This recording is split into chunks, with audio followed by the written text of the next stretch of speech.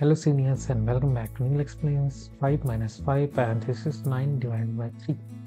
This is very tricky for many but I know any can solve this in a better way or very easy way and if you already solved this then comment your answer. I am solving for those who don't follow or you can say they don't get the right answer. So if you already solved this then simply comment in this video.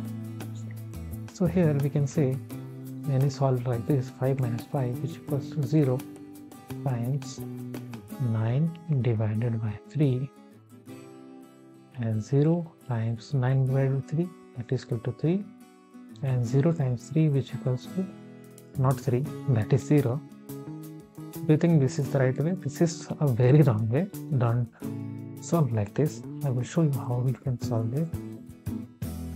Okay we will solve with the help of PEMDAS. So according to PEMDAS, parenthesis, exponent, multiplication, division, addition, subtraction, first reference will be given to parenthesis. Actually, we have to rewrite here for better understanding.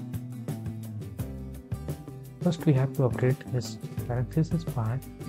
So we will operate this parenthesis first. 9 divided by 3 which equals to 3.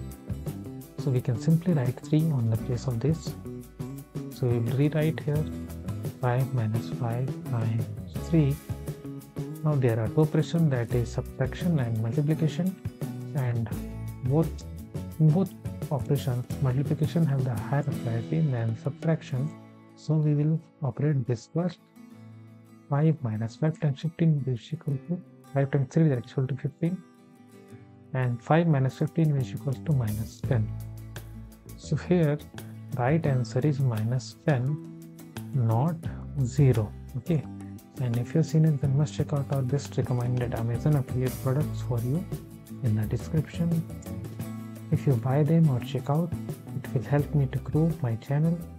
And thanks for watching and subscribe my channel for more videos like this. Thanks for watching